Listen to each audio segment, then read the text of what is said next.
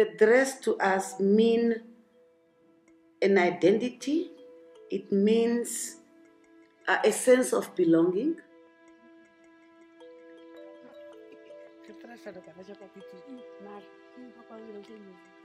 When you look at our dress today, it's actually, uh, we copied it from the missionaries' wives, 19th century.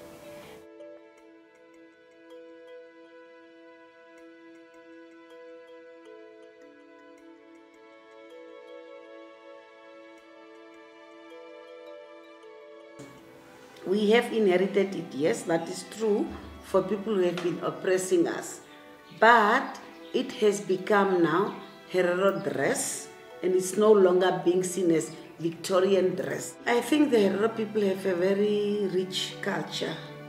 The historical background is a set one, it's a dark history of the genocide.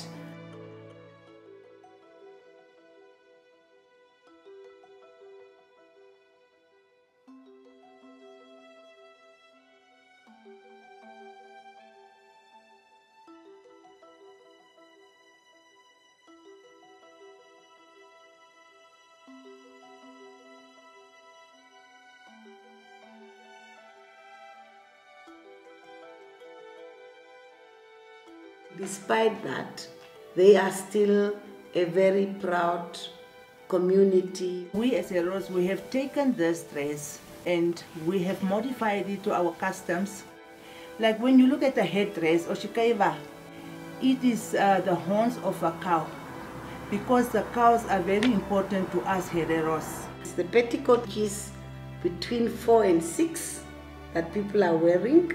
So it's, it's, the, it's the petticoat, it's the dress itself, but then earrings and everything that should also fit the colors of the dress.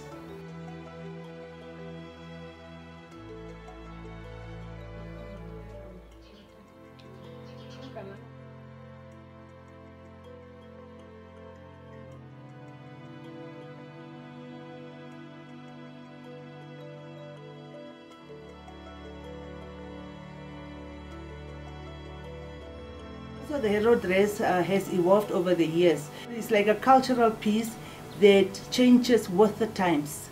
It's a way of also taking the history from generation to, to generation.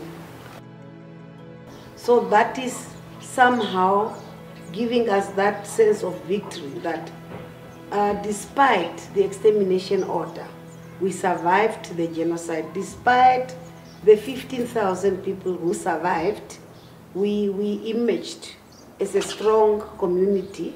For us, this is something that we took and we made it ours. That's why we can proudly wear it.